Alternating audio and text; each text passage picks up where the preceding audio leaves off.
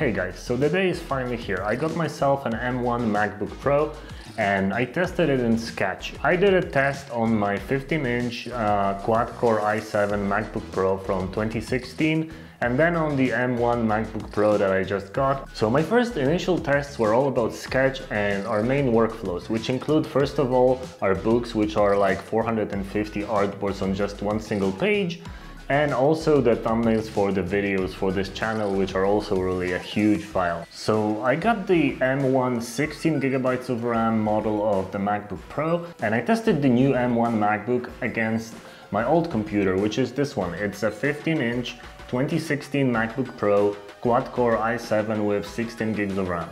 So how do they stack up?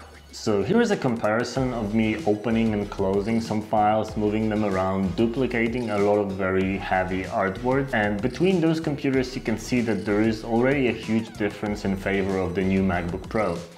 But what really blew my mind the most was actually duplicating the artboards or the pages of our book, designing user interfaces, and moving them around and panning and zooming. So on my 15 inch, it actually takes a while to even duplicate them and moving and panning and zooming, while it still works, it's a little bit choppy, so not really that great. So when making a version of this test on the M1 MacBook Pro, I actually duplicated it once, but it didn't really almost feel that. Like the fan didn't turn on for just even a second. And when I started moving those files, you could see that the artboards turned to white, but it just doesn't really matter because they quickly fill in and when you start zooming into a specific artboard, you just get there almost right away. So what I did was duplicating those artboards one more time.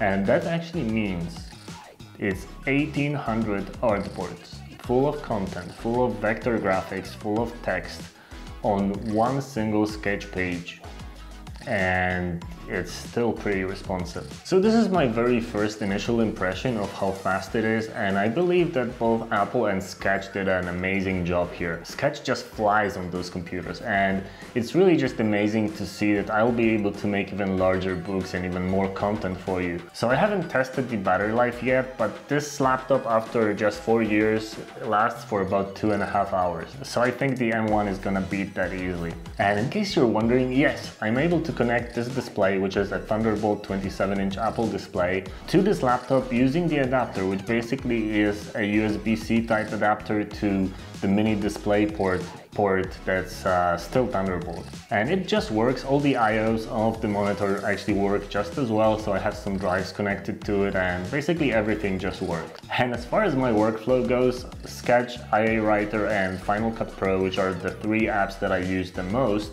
they all just work and they really work great because they're all universal apps.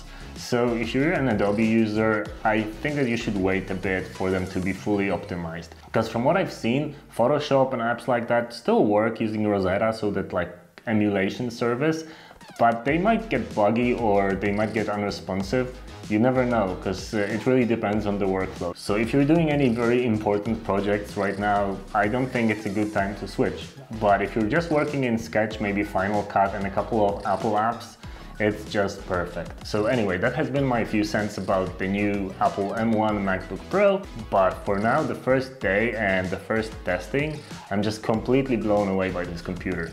It's gonna fit my workflow very nicely and it's gonna basically make everything a couple times faster. So that's it for today. Thanks for watching. Don't forget to like, subscribe and share the video and see you next time. Cheers!